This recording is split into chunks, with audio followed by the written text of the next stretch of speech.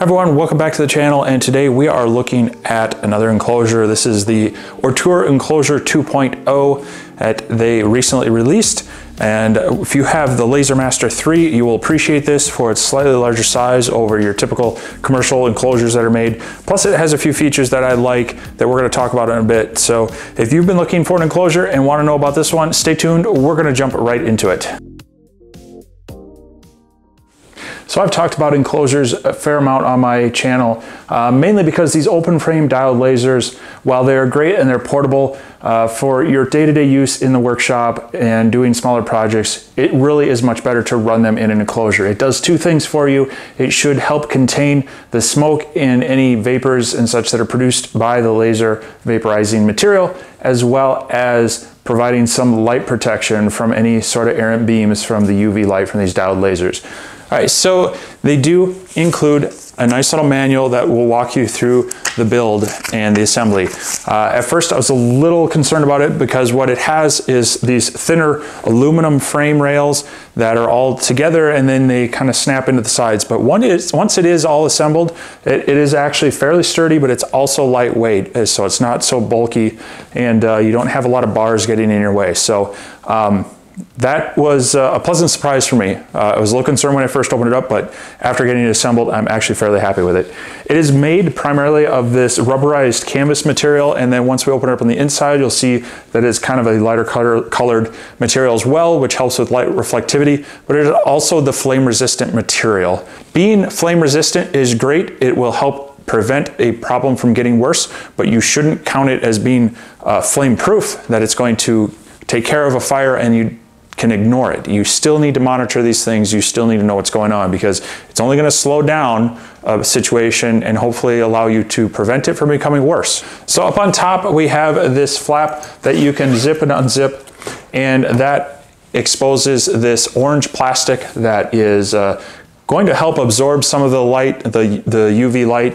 Uh, I don't know that it is really specifically rated at any wavelength or any optical density, but the color of it should help reduce the uh, intensity of the laser beams. Uh, that being said, on any enclosure, uh, I would always recommend you continue to wear your laser safety goggles as they will provide the best protection for your eyes. However, you can pull this flap down, zip it up, and now the entire thing is opaque and sealed and therefore shouldn't have any light exposure coming out of it. Now over on the left side of it, you will see you have a couple of mesh pockets. This would be good for holding maybe some manuals or other gear. But down here, what is important is that you have these kind of rings and then there's a flap on the inside. What this is gonna do is gonna allow air to get pulled in through these and then your fan is on the other side. We'll look at that in a minute. What I like about this is that it's loose enough that this flap will move out of the way to allow airflow to come in.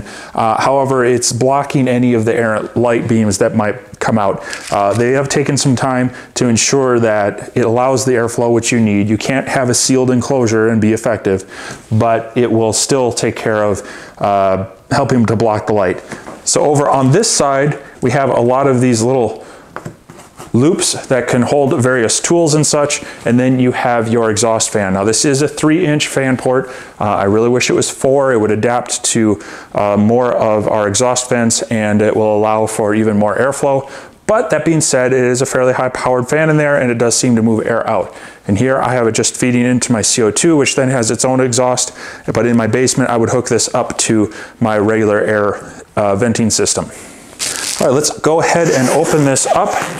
The zippers do just go along the sides. And then you'll see, here's one of those aluminum bars that's strapped in. This just folds up and out of the way. This gives you plenty of access to the laser in here.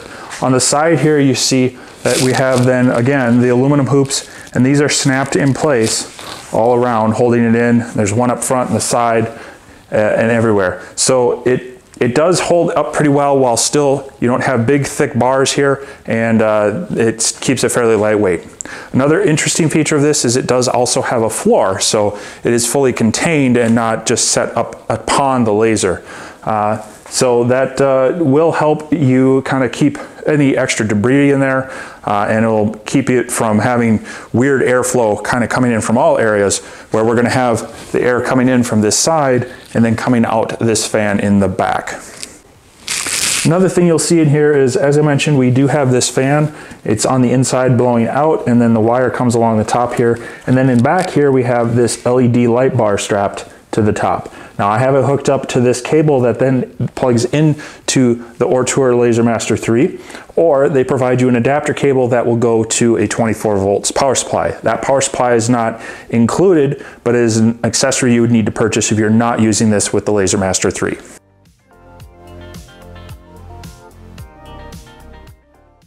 Now, one of the cool things about this laser enclosure and having it connected to the Ortur LaserMaster 3 through the aux port is that you can then control the fan and the light through either macros or uh, just through the console. So you could actually add a script into at the beginning of every file, turn the fan on, at the end turn it off. Uh, same with the light if you wanted to, or we can just set up the commands and uh, or just the buttons here in Lightburn. So for example, we have a macro set up for light on, and you see the light turned on in the enclosure. Same thing for light off, it will turn off.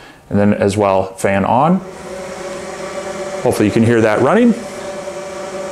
And then fan off as well. So uh, anytime you can add automation, it's, uh, it's a nice feature. And uh, I like, as far as the fan, I would want to leave the fan on for a certain period of time after the job completes. So you might need to look at some sort of delay feature. Uh, and then the light on and off, generally I'm gonna, anytime the, I've got the machine on and I'm setting things up, I'm gonna want that on. Uh, but the idea that we can just turn it on and off through here and that it's running through the same power supply, you don't have extra power cables, you don't have extra switches, that's kind of a nice deal. And uh, some cool things that you could probably play around with. All right, so if we come into, if you're, if you're on your main screen here, you wanna come into your console and you can simply type commands such as M12, that's going to turn the light on. M13 should turn the light off. M14 is going to turn the fan on. M15 would then turn it off. You also have these macro buttons, and if you right click on them, it'll open up this window that allows you to adjust this. So our button label just simply saying light on, type in M12, and then when we come over here and hit light on, that's gonna send the M12 command light off is going to send the M13 command. Same with fan on, fan off for M14 and M15. So those are some of the basic features in Lightburn, how you can set that up through this, uh, the board on the Ortur LaserMaster 3. All right, so this is basically a one inch square. I've got the speed down and the power up, so it should be making a pretty dark square box in here. So we'll see if we can see any smoke from this and uh, see, see if we can smell any smoke, and we'll go from there.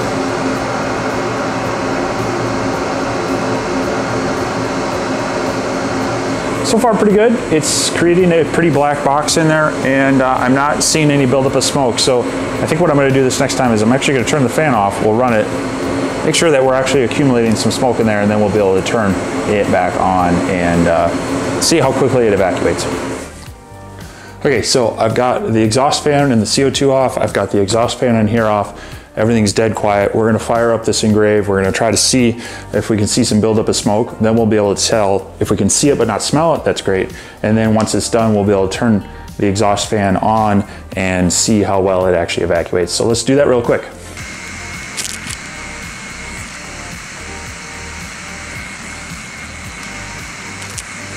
Probably not going to show very well on the camera, but we do have a bit of a haze in there from the smoke.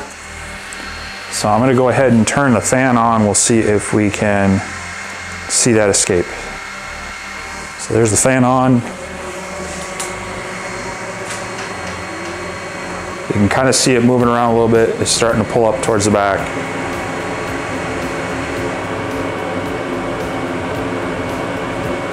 And now it looks like it's fairly clear. Let's go ahead and open this up.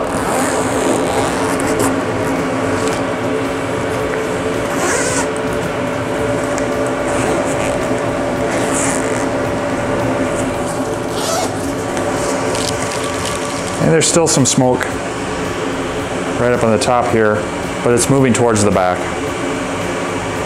The good thing is we couldn't really smell it from the outside. So it does help contain it. I think if you ran it too long, you'd start smelling it on the outside, but then the fan does work to extract it out as well. So there's not much more to say about this. Uh, it seemed to work pretty well both in blocking or containing the smoke and then being able to extract it. Uh, obviously you would want to run it the full time so it doesn't build up in there but if you did forget about it uh, I would probably say you'd want to run it maybe for a minute or so let it really pull everything out uh, before opening it up to really maximize making sure that air is cycled through. Um, it seems to be fairly durable canvas and this kind of rubbery on the outside and then fairly kind of smooth on the inside. Uh, supposed to be flame retardant as well and uh, fairly lightweight. It, it's not overly heavy. Uh, I'm not, you know, these do come apart and snap, so you would be able to fold it down and such. Um, so transportability is probably okay. It's not going to be as quick as some of the others I've seen to uh, that just Velcro together. But uh, as far as not having a bunch of pipes to really fit in one uh, to, to, make sure you get assembled together in the right order and such, um, I think this would go up together faster. So uh, if you're in the shop where you can't leave this set up full time, you need to fold it down, um, it's, it's plausible. It's probably going to take you, you know, five minutes to uh, set it up, move everything in, and tear it down. Um, part of that issue being, you know, I'm not sure you can leave the light in there. You might need to take that out and such. But that being said, um, I think it's a decent option. One of the nice things is that with the Ortur LaserMaster 3, this does fit it better than some of the others, it being a little bit longer laser front to back, uh, that it gives you that extra depth. So if you are interested in this enclosure, I will have links down below where you can find out more and purchase this. And uh, I, I, think if you are looking for one, especially for the Ortur LaserMaster 3, uh, this is a good one to consider. That's going to wrap it up for this video. I hope this was informative for you and gave you some insight into this, whether this enclosure will work for you. And so if you have any questions or comments, go ahead, and leave those down below. In the meantime, I will be doing more projects, more product reviews, more Lightburn lessons and more. So if that interests you and I've earned your trust and your respect, uh, hit that subscribe button and you will not miss out on my future videos. Once again, thanks again for stopping by. I will hopefully see you soon, but I hope in the meantime you can get out into your workshop and make something too. We'll catch you next time.